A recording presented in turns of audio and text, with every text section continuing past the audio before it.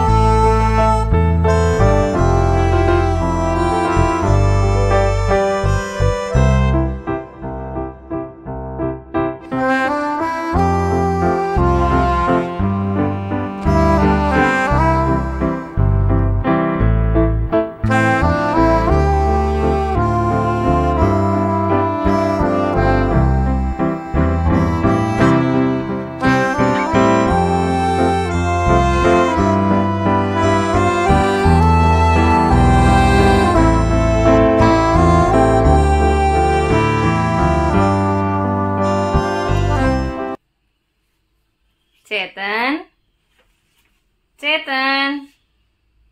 ఇటు. వీడిని పట్టుకోలేను అన్నప్పుడు ఇది వేసేస్తున్నాను అనమాట లేదంటే కిందకి దిగి వెళ్ళిపోతాను అంటున్నాడు అసలు. బయట తిరగడానికి చాలా ఇంట్రెస్ట్ చూపిస్తున్నాడు అనమాట లోపల ఉండట్లేదు పాక్కుంటూ బయటికి వెళ్ళిపోతున్నాడు. చెప్తున్నానని ఏ అంటున్నాడు చూసారా? ఇలానే చేస్తున్నాడు అందుకే ఇది వేసేస్తున్నా. ఇది వేసేస్తే ఇంకెక్కడెక్కడే తిరుగుతాడు కాబట్టి కాసేపు గొడవ ఉండదు. ఒక్కొక్కసారి కింద కూడా వదులుతానులేండి. కాకపోతే ఏంటంటే ఇప్పుడు అదంతా డస్ట్గా ఉంది. నేను ఇంక ఇల్లు తుడవలేదు. ఇంక తిరిగేస్తున్నాడు మళ్ళీ నేను ఏదైనా నోట్లో పెట్టుకుంటాడు కదా అని చెప్పేసి నేనైతే ఇంక దించలేదనమాట ఇప్పుడు నేను మీతో చేతనికి చేయించే కొన్ని మెమరీ యాక్టివిటీస్ని అయితే షేర్ చేస్తానండి. సో ఇవి బ్రెయిన్ డెవలపింగ్ యాక్టివిటీస్ అని చెప్పొచ్చు. వీటితో సెన్సరీ ప్లే అనేది బాగా యాక్టివేట్ అవుతుంది అనమాట సో ఈ బాల్స్ వచ్చేసి నేను అమెజాన్లో అయితే ఆర్డర్ చేశానండి. ఇవి డిఫరెంట్ టెక్స్చర్స్లో డిఫరెంట్ షేప్స్లో ఉంటాయన్నమాట. లైక్ ఒక్కొక్కటి ఏమో ఒక్కొక్క షేప్లో బంపీగా అలాగే వేవీగా కొన్ని కొన్ని ప్యాటర్న్స్తో అయితే ఉంటాయన్నమాట. వీటితో బేబీస్ టచ్ చేసి ఫీల్ అవుతారనమాట సో దానివల్ల వాళ్ళ బ్రెయిన్లో కనెక్షన్స్ అనేవి ఫామ్ అవుతాయంట. సో దట్ ఏంటంటే వాళ్ళ మెమరీ పవర్ అనేది పెరుగుతుందండి. ఇలాంటివి ఫైన్ మోటార్ స్కిల్స్ని డెవలప్ చేసే యాక్టివిటీస్ కానీ అలాగే కొన్ని స్కిల్ని పెంచే యాక్టివిటీస్ని కానీ మనం బేబీస్తో చేయిస్తూ ఉండాలి. సో చేతని ఇప్పుడు ఆ బాల్స్ అన్ని తీసి బయట వేస్తాడు తర్వాత అదే బాక్స్లో వేస్తాడు అనమాట సో ఇదంతా వాళ్ళని సెల్ఫ్గా ఎక్స్ప్లోర్ చేయనిస్తూనే మనం కూడా వాళ్ళకి ఎలా చేయాలి ఏంటనేది చెప్తూ ఉండాలన్నమాట. అసలు ఇలాంటి యాక్టివిటీస్ చేయించడం వల్ల యూజ్ ఏంటంటే పిల్లల్లో ఫస్ట్ త్రీ ఇయర్స్లో బ్రెయిన్ డెవలప్మెంట్ అనేది చాలా బాగుంటుందండి. దట్టు రైట్ బ్రెయిన్ అనేది బాగా స్టిమ్యులేట్ అవుతుంది అనమాట సో ఆ టైంలో మనం ఎడ్యుకేషనల్ టాయ్స్ ఇచ్చి పిల్లల్ని ఎంకరేజ్ చేయడం వల్ల వాళ్ళ మెమరీ పవర్ బాగా పెరుగుతుంది. ఏ విషయాన్నైనా త్వరగా అర్థం చేసుకోగలుగుతారు. బట్టి పట్టకుండా విషయాల్ని త్వరగా అనలైజ్ చేయగలుగుతారు. సో దట్ ఏ విషయమైనా సరే ఎక్కువ కాలం ఈజీగా గుర్తుంటుంది. ఎక్కువ కష్టపడకుండా చదివిన ప్రతిదీ కూడా మంచిగా గుర్తుంటుంది. సో దట్ వాళ్ళ నాలెడ్జ్ కూడా బాగా పెరుగుతుంది అనమాట ఒక విషయాన్ని మనం అబ్జర్వ్ చేస్తే చిన్నప్పుడు ఏదైనా మనం ఇష్టంగా చదివితే లైక్ ఆ విషయం మనకి చాలా రోజులు గుర్తుంటుంది. ఆ విషయం కొన్నాళ్ళ తర్వాత నిద్రలో లేపడినా సరే చెప్పేవి కొన్ని కొన్ని ఉంటాయి కదా. సో అలా ప్రతి విషయం మనకి గుర్తుండాలంటే ఇప్పటి నుంచే మన బ్రెయిన్ని మంచిగా ట్రైన్ చేసామనుకోండి ఫస్ట్ త్రీ ఇయర్స్లోగా మెమరీ రిటెన్షన్ కెపాసిటీ అనేది పెరుగుతుంది అనమాట సో దట్ పిల్లలు ఏ విషయానైనా బాగా అర్థం చేసుకోగలుగుతారు. బాగా అర్థమైన విషయం ఎక్కువ కాలం బాగా గుర్తుంటుంది. సో దట్ వాళ్ళు చదువులోనూ అలాగే కావాల్సిన నాలెడ్జ్లోనూ ముందుండగలుగుతారనమాట సో చదువు ఒక్కటే కాదు అన్ని రకాలన్నమాట. అంటే మనకి ఎమోషనల్ డెవలప్మెంట్ కానీ తర్వాత ఏదైనా డెసిషన్ మేకింగ్ కానీ వాళ్ళు ఏదైనా చేయాలనుకుంటే క్రియేటివ్ వేలో థింక్ చేయడాన్ని కానీ ఒక లాజికల్ uh, విషయాన్ని సార్ట్ అవుట్ చేయడం కానీ ఇలాంటివన్నీ కూడా పిల్లల్లో డెవలప్ అవ్వాలంటే ఫస్ట్ త్రీ ఇయర్స్లో వాళ్ళ బ్రెయిన్కి సంబంధించిన యాక్టివిటీస్ మనం చేస్తూ ఉండాలండి.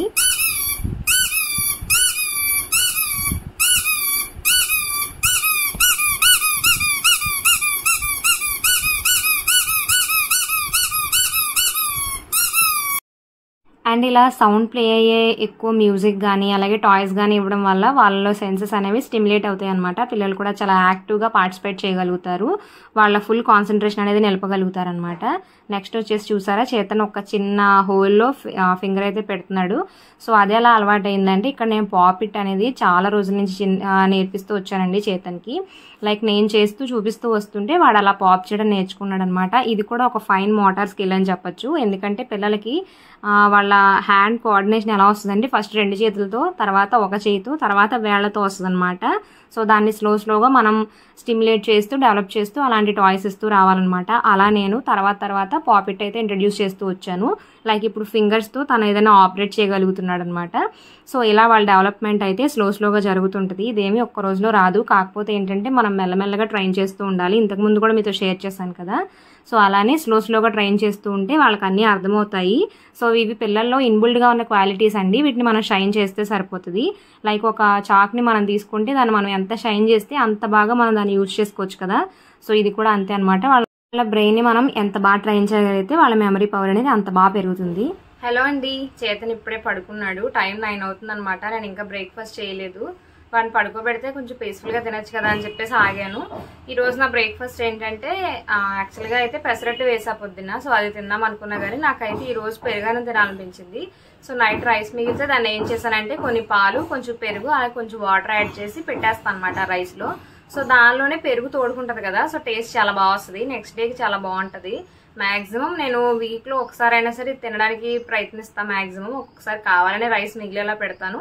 ఒక్కొక్కసారి ఏంటంటే ఎప్పుడైనా మిగిలిన అలా కూడా తింటుంటాను అనమాట నేను మా హస్బెండ్ ఇద్దరం తింటాం ఇలా ఇష్టంగానే సో ఇదేంటంటే మనకి హెల్త్కి చాలా మంచిదండి. మన గట్ హెల్త్కి కానీ మన డైజెషన్ సిస్టమ్కి కానీ చాలా హెల్ప్ అవుతుంది అనమాట మనం రెగ్యులర్గా చాలా స్పైసెస్ ఉన్న ఫుడ్స్ తింటూ ఉంటాం కదా. సో అలాంటప్పుడు ఇంకా బాడీకి కూలెంట్ లాగా యూజ్ అవుతుంది ఇది. మాక్సిమం వీక్లో ఒకసారి లేదా రెండు సార్లు తింటే చాలా మంచిదండి. ఎస్పెషల్లీ బ్రేక్ఫాస్ట్లో తింటే ఇంకా మంచిదట. అందుకే మాక్సిమం బ్రేక్ఫాస్ట్లో ప్రిఫర్ చేస్తాం. లేదంటే ఆఫ్టర్నూన్ లంచ్లో కూడా తింటాం ఒక్కొక్కసారి పెరుగన్నంకి రీప్లేస్గా ఇలా ఒకసారి చేస్తే మీకు కూడా తెలుస్తుంది. టేస్టీగా ఉంటుంది.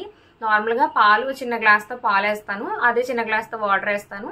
పెరుగు కూడా గ్లాస్లో హాఫ్ వేస్తాను అనమాట మూడు మిక్స్ చేసేసి జస్ట్ అలా పెట్టేస్తాను అంతే బాక్స్లో.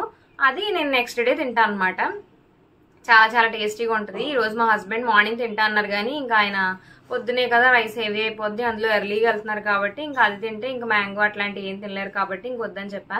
ఈరోజు ఆయన ఒక మ్యాంగో తిని ఇంకా రెండు పెసరట్లు అయితే తినేసి వెళ్ళిపోయారనమాట సో నెక్స్ట్ ఇప్పుడు నేను తినాలి.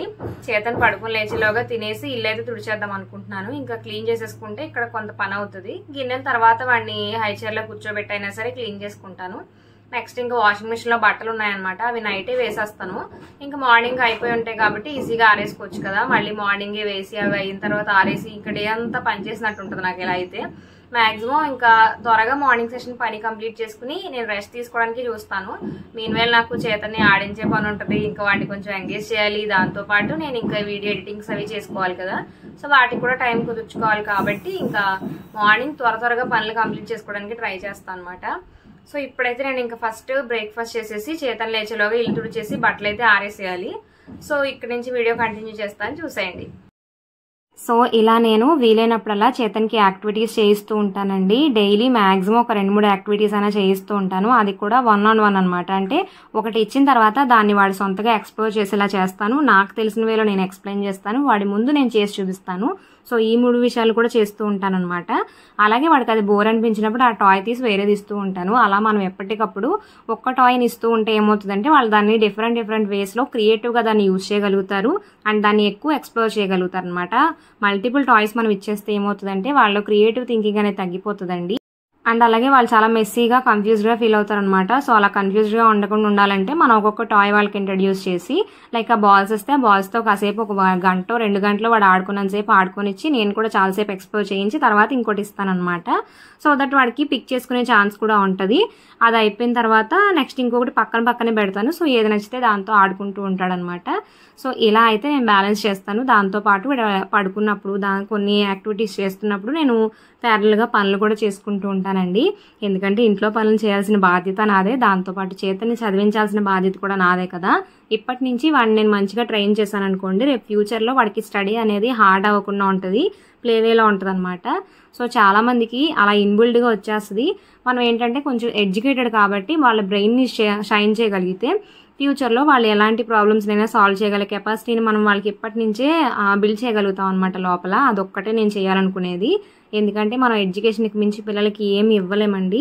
వాళ్ళలో మంచి నాలెడ్జ్ కనుక మనం ఖచ్చితంగా గెయిన్ చేయగల కెపాసిటీ ఇస్తే అది చాలా అనమాట వాళ్ళ ఫ్యూచర్కి చాలా మంచి హెల్ప్ చేసినట్టు అవుతాం. ఆస్తులు అంతస్తుల కన్నా వాళ్ళకి నాలెడ్జ్ చదువు అనేది చాలా ఇంపార్టెంట్ అని మేము నమ్ముతాం. అందుకే నేను మ్యాక్సిమం ఇలాంటి వాటి మీద ఇన్వెస్ట్ చేయడానికి యాక్టివిటీస్ చేయించడానికి ఎక్కువ ఇంట్రెస్ట్ చూపిస్తానమాట సో నెక్స్ట్ నా పని అయ్యేసరికి చేతన్ పడుకుని లేచేశాడు కూడా. హలో అండి. సో చేతన్ పడుకుని లెవెన్ ఓ క్లాక్కి లేచాడు అనమాట ఈరోజు కొంచెం ఎక్కువసేపు పడుకున్నాడు. నేను ఏం చేశానంటే ఇంకా బట్టలు అవి మడత పెట్టేసిన తర్వాత కాసేపు వీడియో ఎడిటింగ్ చేసా దాని తర్వాత నేను కూడా ఒక హాఫ్ అన్ అవర్ పడుకున్నాను. తర్వాత వీడు లేచాడు. ఫీడ్ చేశాను అనమాట ఫీడ్ చేసి ఒక హాఫ్ అన్ అవర్ ఆడించాను. ఇప్పుడు టైం లెవెన్ థర్టీ అవుతుంది. ఇప్పుడైతే ఇంకా స్నానం చేయించాలి వీడికి. స్నానం చేయించేస్తే ఇంకా కాసేపు ఆగి ఫుడ్ పెడతాను అనమాట ఇంకా లంచ్ ట్వెల్వ్ థర్టీకి అలా పెట్టేస్తాను డైలీ. తినేస్తాడు. ఆ టైంకి బాగా అలవాటు. ఇంకా అంతగానే లేట్ అయినా ఏడుస్తాడు అనమాట ఇంకా ముందు పెట్టినా తినడు. ట్వెల్వ్ థర్టీ కరెక్ట్గా పెట్టాలి. అందుకే ఇప్పుడు స్నానం చేయించేసాను అనుకోండి. తర్వాత ఫుడ్ ప్రిపేర్ చేస్తాను. ఇంకా అది గోరువెచ్చుకున్నప్పుడు పెట్టేస్తాను అనమాట చూసారా? అస్సలు మాట్లాడనివ్వట్లేదు. ఈ మధ్య ఇది ఒకటి నేర్చుకున్నాడు. నేను వాయిస్ ఓవర్ ఇచ్చిన వీడియోలో మాట్లాడుతున్నా. పర్టికులర్గా అరుస్తున్నాడండి. ఏంటో నాకు అర్థం కావట్లేదు. మళ్ళీ నేను ఆపేశాను అనుకోండి. వాడే ఆపేస్తాడా? నన్ను చూసుకోండి చాలా కన్నింగ్గా నవ్వుతాడు అనమాట మళ్ళీ అది వదిలేసి కాసేపు ఆగిన తర్వాత నేను వాయిస్ ఓవర్ ఇచ్చినట్టు యాక్ట్ చేసినా మళ్ళీ అరుస్తాడు. అసలు ఈ మధ్య ఇది ఒకటి ఎక్కువైపోయింది అనమాట ఒక్కొక్కసారి ఫన్నీగా అనిపిస్తుంది కానీ ఒక్కొక్కసారి కోపం వస్తుంది చేతన మీద. ఆయన ఏం చేస్తాను చెప్పండి ఇంకా నాకు తప్పదు. ఒక్కొక్కసారి చెప్తాను అయినా సరే అలానే చేస్తున్నాడు అనమాట ఏంటో మరి అసలు నేను వాయిస్ ఓవర్ ఇస్తుంటేనే ఆపేస్తున్నాడు ఈ మధ్య. లేదంటే కరెక్ట్గా అరిచేస్తున్నాడు. అదిగో చూసారా ఎలా అరుస్తున్నాడో. అసలు ఈ మధ్య గొంతు ఎక్కువైపోయింది అనమాట చూసారా? ఇలా జరిగింది ఇప్పటి వరకు. ఇంక ఇప్పుడైతే వీడికి స్నానం చేయించాలి. స్నానం చేయించేసి వీడిని ఫ్రెష్ అప్ చేశాక మళ్ళీ మీతో మాట్లాడతాను. బ్లాగ్ అయితే కంటిన్యూ అవుతుంది. చూసేయండి. నెక్స్ట్ నేను చేతన్కి బాత్ అయితే చేయించేసాను అనమాట ఇంకా వాడికి డిన్నర్ కూడా పెట్టేయాలి. టైం ట్వెల్వ్ థర్టీ అలా అయిపోతుంది. సో చూసారు కదా ఆ టాయ్స్ బాల్స్తో ఆడుకున్న తర్వాత నేను నెక్స్ట్ మళ్ళీ వాడికి ఇంకో రెండు కూడా ఇచ్చాను. వాటితో కూడా ఆడాడు. తర్వాత ఇంకా వీడి బొట్టు పెట్టుకునే తెలుగు ఉంటుంది కదా దీన్ని తీసుకున్నాడు. ఇంకా దాన్ని తీసేసుకున్నా గుచ్చుకుంటాడు అని చెప్పేసి. ఇంకా అలా కాసేపు అయితే కొన్నిటితో ఎంగేజ్ చేస్తూ ఉంటాను. ఇలా నేను కొన్ని కొన్ని యాక్టివిటీస్ ఏజ్ పరంగా నాకు తెలిసినంత వరకు నేను కూడా రీసెర్చ్ చేసి తెలుసుకుని చేయిస్తూ ఉంటానండి.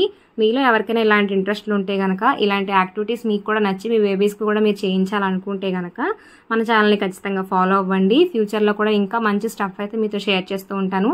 నా డైలీ బ్లాగ్స్ అయితే మిస్ అవ్వకుండా ఉంటే మీకు పేరెంటింగ్కి మదర్హుడ్కి దాంతోపాటు మన సెల్ఫ్ కేర్కి హెల్త్కి సంబంధించిన చాలా వీడియోస్ అయితే రాబోతున్నాయి.